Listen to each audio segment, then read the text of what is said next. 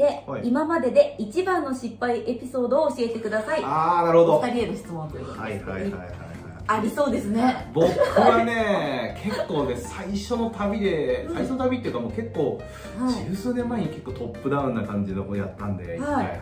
うん。なんかあります？なんか、私すごい小さいことですけど、はい。烏山線に昔乗りに行った時、うんうん山ですよね。烏山線ごい初歩的ですよ。まだ鉄道好きだけどなんかそういう活動とかもしてない時はいはいはい。に前からしか降りれないのを気づかないで後ろでずっとガンガン押しても開かないみたいなパニックになったらね出発しちゃってであんまり本数ないじゃないですか、はいはいはいはい。だから全然行けなくてああなるほど。最初すぎて泣きました。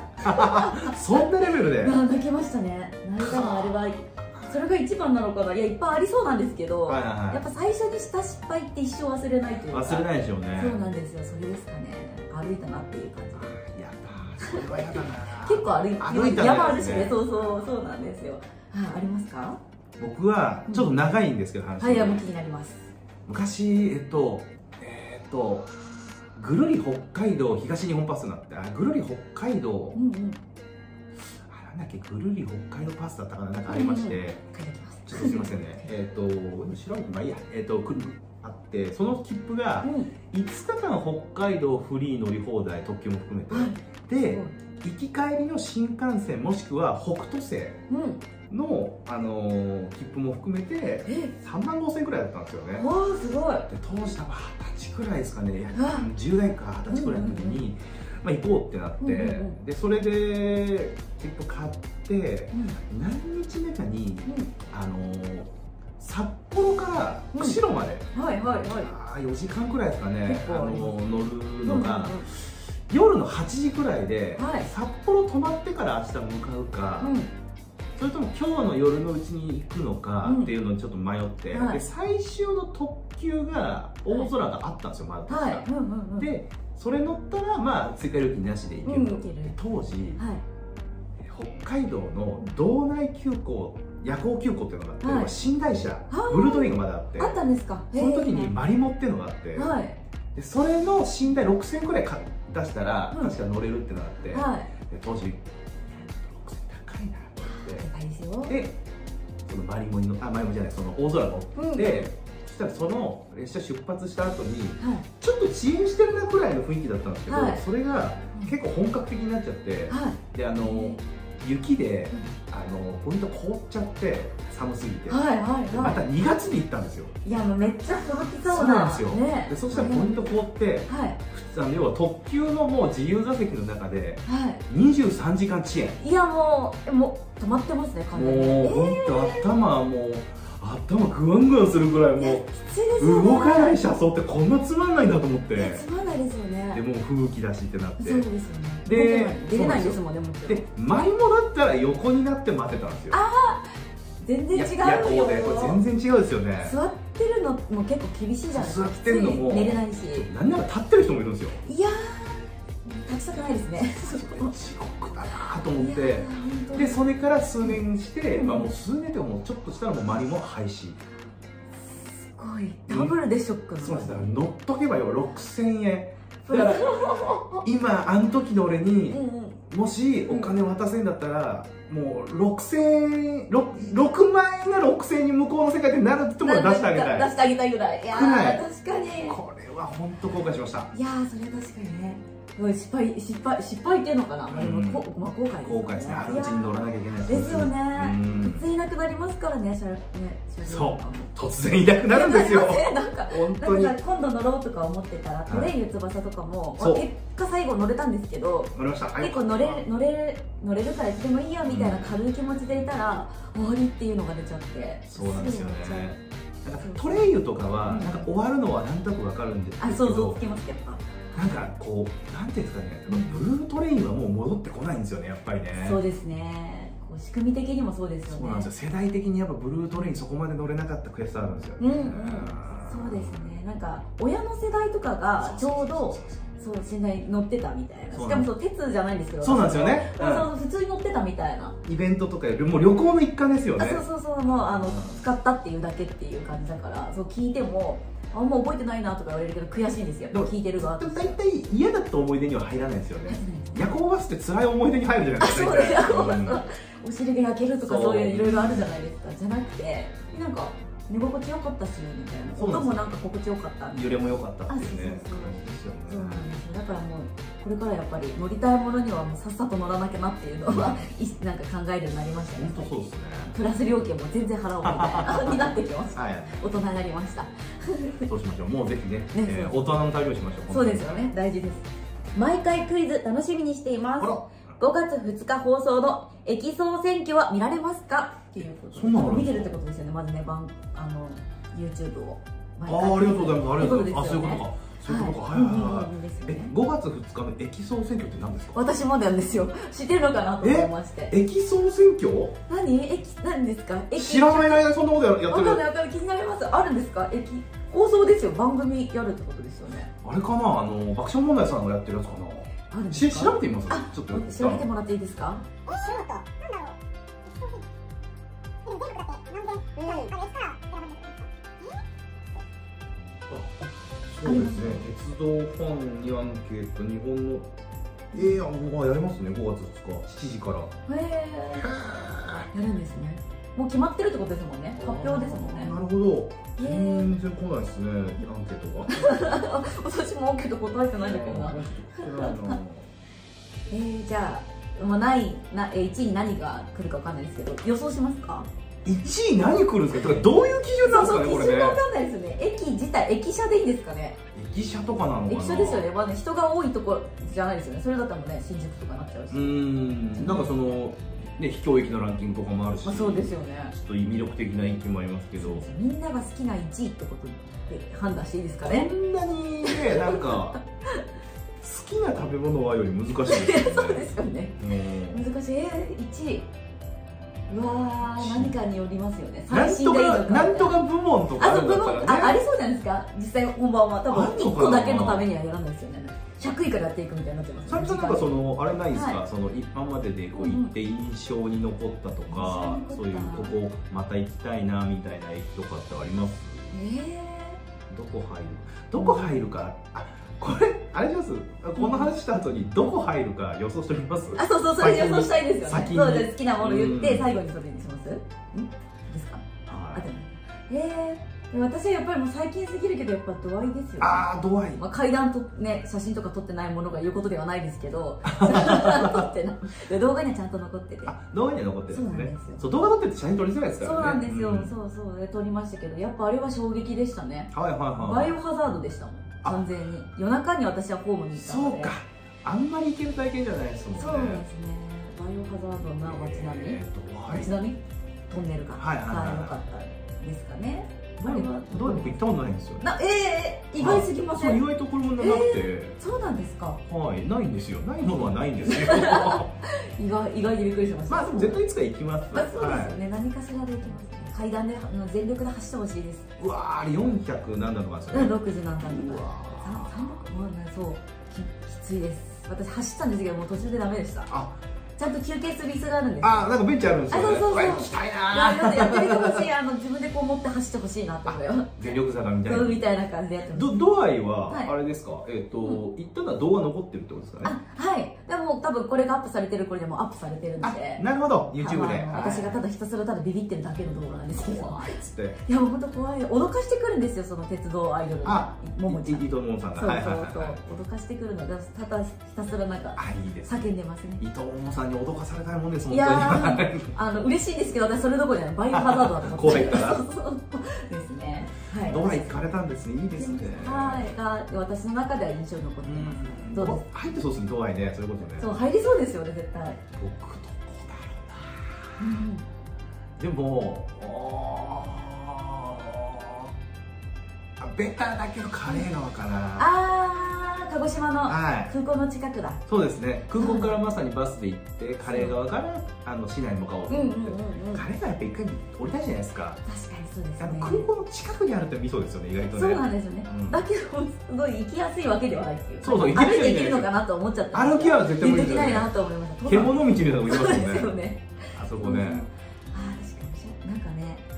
古き良きって感じうの、あの駅舎にをよりもいいのあんまないんじゃないかな。あそこまでは100何年とかですね。あまあそうですよね。古いですね。私はそこに降りたってよりははい。隼人、の風？はいはいはいはい。あれなんていうか混ざってます名前。なんか。でカイトの数いくんですかねのにで乗ってる時にたまたまそこで停車時間があったんで降りたって感じだったんですけど、なんか趣があってうん。いいなって感じだったんですけど、ね猫いました？いなかったです。え猫いない？なんか私観光列車としてこう乗ってたから人がいっぱいいたからなのか出てこないですね。あのそうないろいろ置いてましたよね。あの駅の中に。古いあの使ってた駅の。物とかをそうそう。それこそタブレットこうファーンってやってスーってかあの なんかあの針金の棒とかありましたよね。そうそう。なんか本当にだからもう使ってたんだなっていうままある感じだったので、郷土資料館みたいな。あなんかそんな感じでした。そう地方のっていう感じの、うんカレー川入りそうだなカレーいや川も入るんじゃないですか。いや絶対入るな。下灘。わかりますあーえ四国ですか？海海のそうあのあーいつ写真だけでしか見てない。あれも行ったんですけどよかったいよかったですか？あれも入りそうだないや入るんじゃないですかやっぱ。だってポスターとかでも出てますよ出てますね。18切符とかのやつでも。あれ朝一あの松山から行くと、うん。僕行った時ははい。あのホビートレイン海洋堂ホビートレインってい。新幹線のゼロ系のの形をしたやつはい。あれがあの朝多分あの宇和島の方まで運ぶ意味で運行するんですけど、はい。あれで朝来てあれで下灘行けたんですよ、そうなんですか、はい。見た目とギャップ面白いですだから下ね灘に新幹線いるんですよ。そういうことですよね。は 面白いあでも絶対そこ入りそうですよね。ありそうなんか。入りそうだ。ねえねコアラとかねあのこの前も話出えた、はいはいはい。そうか。あれ小ボロとか。いっぱい出るんじゃないですかそうなってきたらいっぱい出そう。北海道がいっぱい出てきそう行ったことなくて行きたい駅あります逆に。行ったことない。あれあれはあのあれ埴輪じゃない？土偶？目が光る駅舎。あえーとどこでしたっけ？土偶駅？そのまま名前なんだっけ、えーと轟でしたっけなんかなんかそういう感じの名前だった気がんで轟夜光るんですよね目がですねいや僕行ったんですよ。行きました。行きましたいいな夜は怖いですけど夕方ぐらいに光ったぐらいだけに行きたいなっていう感じですね。あれそれですよね。そう。轟じゃないやなんだっけ？えーっとどっかなんあか木作りだ木作りだ。ああそういう木作り木作り木作り。そうかも。あ木作りだったかなちょっと待って木作りでもないかも。なんか今この2つって結構やっぱり変わった駅舎で出てくる名前じゃないですか？あ木作り駅です木作り駅ですはい。じゃあそこだ、はい。そこの光ってるのちょっと面白くないですか？あでも昼行くと光ってる感じ出ないんですよ。ないんですか？普通に土偶みたい土な偶夜の方がなんかこう赤く光ってるらしいですね。光ってるのちょっと見たいな昼行っちゃったんで。ああ普通には土偶だな今いるかどうかがあるんですけど僕行った時は駅長さんがいて、でうん多分青森の方なんですけど、はいはい。トイレの場所聞いたら、うん。聞いたことない言葉で帰ってきたんですよ。あ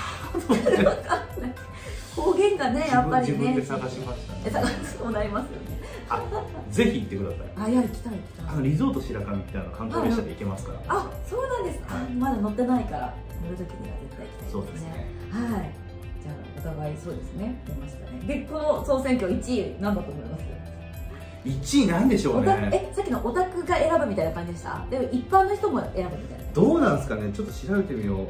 それで変わりますよね。もしね鉄道好きとかじゃない人たちも選ぶとしたら知らないってなっちゃうもんね。そうなんですよね、そうなってくるとなんか東京駅とかになっちゃいますもんね。そうですそうですおしゃれだからとかなりそうだけど。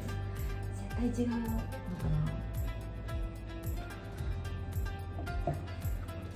だろう。詳しくは載ってない感じですかね、あなんかツイッター出てきたな。うん鉄道ファン2000人がガチ投票。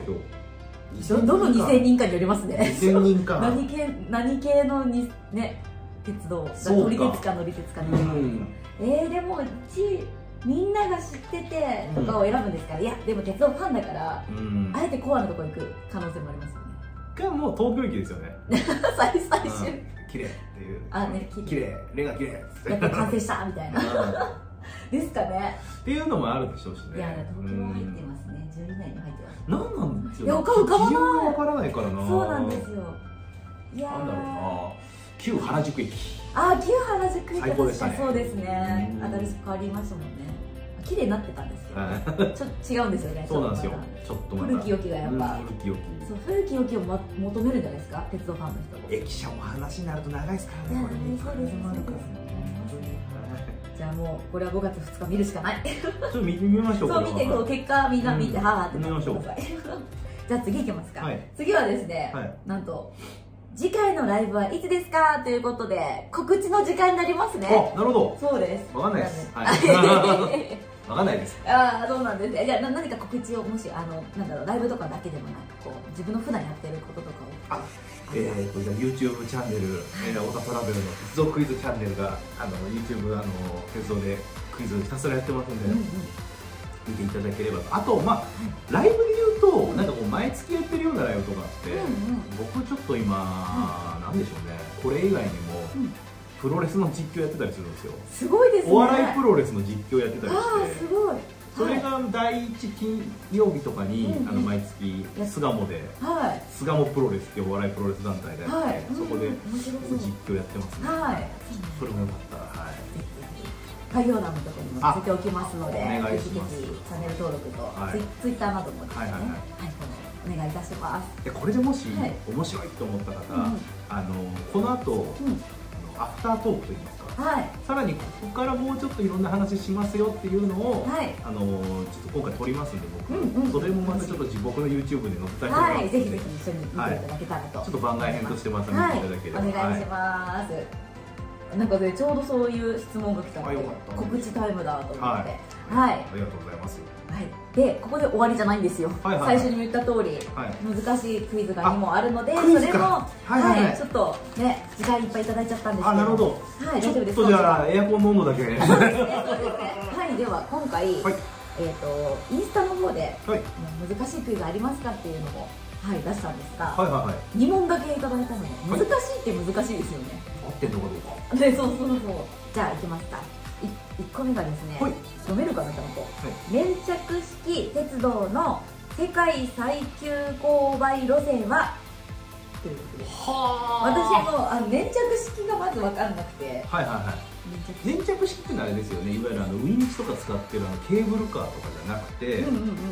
あとアブとかアプト。あのアップ式レのレレールってあのあの噛み合わせてるやつ噛み合わせ方回って回るっていうのそうですね。大井川鉄道で今ある、はいあれ以外とかいうイメージかな多分。そうなんですか。普通にまあ要は車輪が乗ってるってことうんです、うんあそれで最急勾配ってことはこうすごいこうなってる。そうですね一番。なんだろうな。の路線はって聞かれてるんですよ。世界ですって。日本じゃないってことですか？でも日本もありえるってことですか？日本だったら多分箱根登山鉄道ですよね。世界なのかな。世界って書いてるイメージがあります。ね世界一ないのかわかんないですけど、うんうん。すごいなんか有名な急勾配の路線はあれかなインドの。インド？ダージリンヒマラヤ鉄道かな。すごいですね。名前もすごい、はい。おしゃれ。紅茶。えー、これを。ダージリンなんかその、うんうんうん。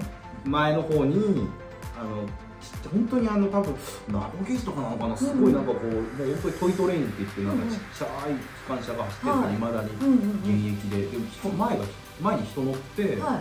砂撒いてこう摩擦強くしたりとか。あそういうことか。でないと滑っちゃいますそうなんですよ、そういうのがあって、そこ。か 僕の知識だとそこが限か界です、なって、えでもでもすごい。そこが出てくるの。はすごいねいっぱい人が乗ってそうなのし でもなんかそんなに人乗ってないんですよ、あ乗ってないんですか？あまりにもなんかこあこうすごいうそうなんですよ。楽しみで田舎というかそのいや本当にだから多分茶葉をうん。こう運ぶためにあったみたいなところだとそう思なんです。じゃあありえそうですね山にね。かもしれないというじゃあそこでいいですかね。世界遺産だと思うんです。よええすごい。そこじゃないいやそこじゃないと思うこれちょっと後でちょっと調べましょう答え合わせでも多分箱根とかってことでいいんですかね。すごいわかんないですけど。でもでも似た二つ二つ答え出して2つで違ったらもうごめんなさい。もう僕はバカです。はい。いやいやそんなことない。これ超難しい質問出してくれましたからね。じゃあ次いきますか、次がですね在来線かっこ JR に限らずに乗るよりも新幹線に乗る方が安い区間はある丸か×か在来線 JR に関わらず乗るよりも新幹線に乗る方同がじ区間ですもんねあの J あ JR に限らずか限らずって書いてるのが大事なとこっぽいですよね。カッコで書いてます。いやーありそうだあるんじゃないですか。こう出してくるってことはっていうあーこうなんかそうそうそう引っ掛け問題的な意味で。とでもすると可能性としてあるのは、うん鉄とかには関西とか名古屋大阪のあたりそんなことないかな区間ですよね在来線にでもそうか在来線にえっと乗る方新幹線乗る方が安いんですよね新幹線のロゴやってますね 在来線だからあれですよねあのすげえあの僕は遠回りしても一緒か遠回りしたらいや料金がでも一筆だから一緒か。えー、えでそれも単純に北海道に行くやつとかじゃないですよね。あのあの区間だけ。あのなるほど。渡ることこだけ。あそこは今在来線ないんじゃないですかね。あそっか在来線ね。いや乗るしかないから。あそっか、うん。乗るしかないからプラス料金取ってると思うんですよね。じゃあ違うのか。なんだろう東北の三石のあたりとかなのかなもしくは影響しそうですようねん。高くなってもちょっとだったら三石作んないかこれは分からないな。いや難しいどこかは答えられないですね、はい。でもきっと丸かな。なんかあったような気がするんですけどね。絶対言われたらあーとか言いそうなところですよね多分ね。これもだから答えどなんだどどこで教えるのかこれどどう調べたらいいんですかねもうそ単純にこのクイズを入力してみるしかないああ調べて。そうですね。じゃあ調べますか。丸ってことでいいですかこれ丸にしておきましょうか。ねましょうか。ね。はい、そうします、はい。じゃあ答え答えどうしましょう。答えは？答えはどうぞ。そうですねあのー、出してくれた人がまあ責任を持って私たちに教えてください。くれればはいあとコメントで入れてもらえばいいんですね。あそうですね。そうしましょう、うん。私たちはこの後必死に調べてこれかなっていうことを考えておきますので、はいお願いしおます。願いします。こちらに。はい。コメントの方にの載せてください、はい。よろしくお願いします。よろしくお願いします。コメントって大丈夫なのかな？はい。はい、ということで私のこの、はい、クイズと質問は以上になりますので、はい、ありがとうございます。ありがとうございましたありがとうございますありがとうございましたではこの後はね、あのあはいご質問お願いしましょう見ていただけたらと思います。ありがとうございましたありがとうございました。